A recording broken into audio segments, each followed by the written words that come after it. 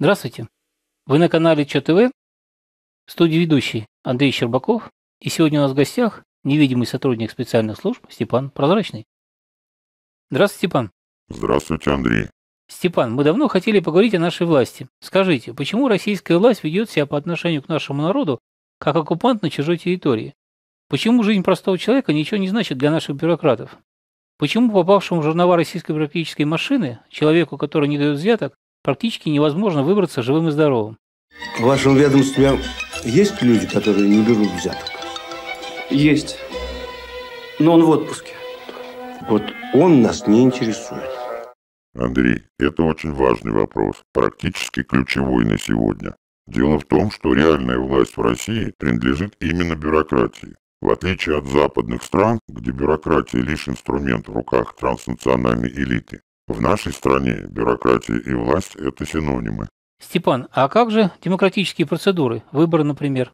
Андрей, выборы, что у нас, что на Западе, это абсолютная фикция. Еще 50 лет назад Нобелевский лауреат Эрроу математически доказал, что выборы – это разновидность диктатуры, хотя этот факт был известен задолго до него. Например, Льюис Керролл, автор «Алисы в стране чудес», очень едко высмеивал английскую избирательную систему еще в начале 20 века.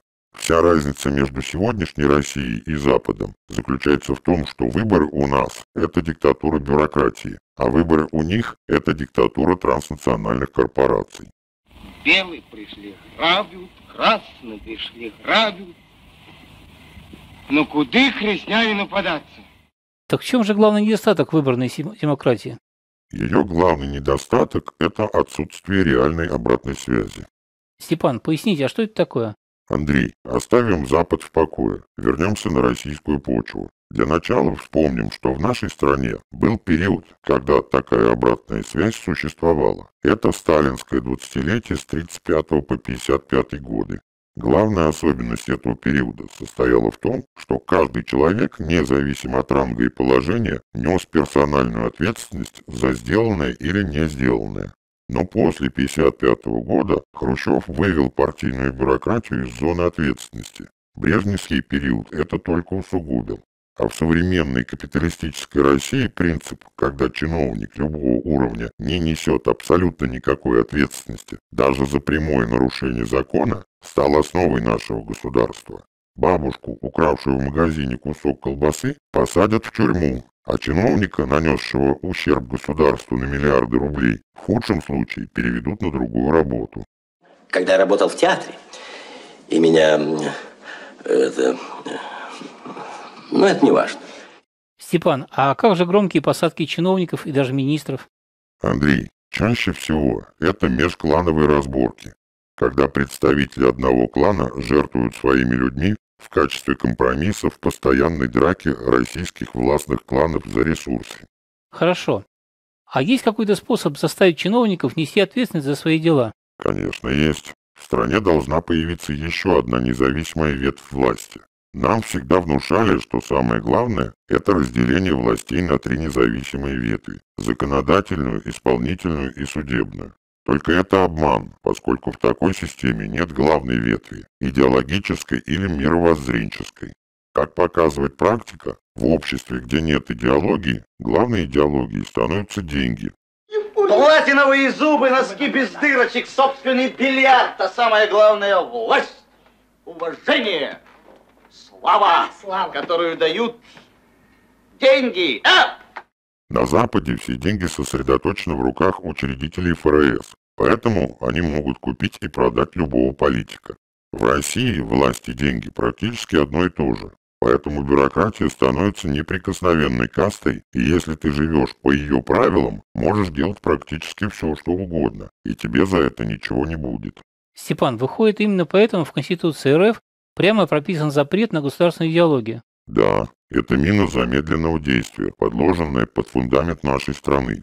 Дело в том, что общество, в котором нет обратной связи, которое не сшито идеологическим стержнем, рано или поздно самоликвидируется.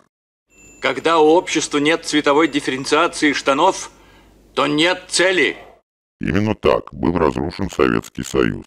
Когда Хрущев вывел советскую партийную бюрократию из зоны персональной ответственности за результаты своей работы, развал СССР стал только вопросом времени.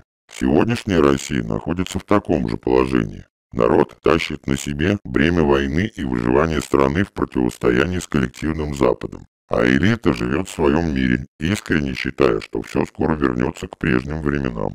То есть надежды Запада на революцию в нашей стране не такие уж беспочвенные? Конечно. Неистребимые противоречия между прозападной элитой и русским народом были заложены при создании Российской Федерации. И с каждым днем войны они только обостряются. Степан, возникают два вопроса. Что делать в этой связи нам всем и что делать каждому из нас? Андрей, про то, что делать каждому из нас, мы поговорим в другой раз. А нам всем надо понять, что без единого мировоззрения, без идеологии страна просто не выживет. Но идеология не рождается в кабинетах. Идеология – это коллективное творчество всего народа. Но я знаю, что если я на своем месте такой, а другой на своем месте тоже такой же, и еще там, и еще, и еще, то может и будет как надо. Выработаем всем миром свою идеологию, выживем. Не выработаем, исчезнем как страна и как народ. Спасибо, Степан, за эти замечательные слова. Всего вам доброго. И вам всего хорошего, Андрей. Телеканал ЧТВ. Ну чё, русский мир? Пора включать коллективный разум и формулировать принципы нашего русского мировоззрения, иначе не будет ни страны, ни русского народа.